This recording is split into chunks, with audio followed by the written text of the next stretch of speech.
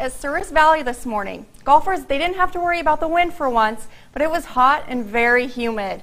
Logan Shep, Gavin Argent, and Champ Hettich grouped together this morning. A par 5, a, not, a nice shot from the fairway sets Argent up for an eagle putt.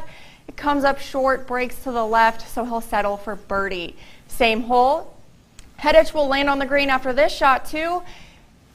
He's going to have a long putt for eagle, a little long, but he'll sink it in at the end to make birdie as well. Shep's shot also gets him to the green in two, giving him an eagle shot. Look at this. Now look at this putt. Do not hold your breath. Oh, it's going to miss by just a half an inch. So he'll join Argent and Hettich with a birdie. To the ladies, Lauren Keller with a long putt for bogey. It'll miss just right, and she'll add two to the scorecard.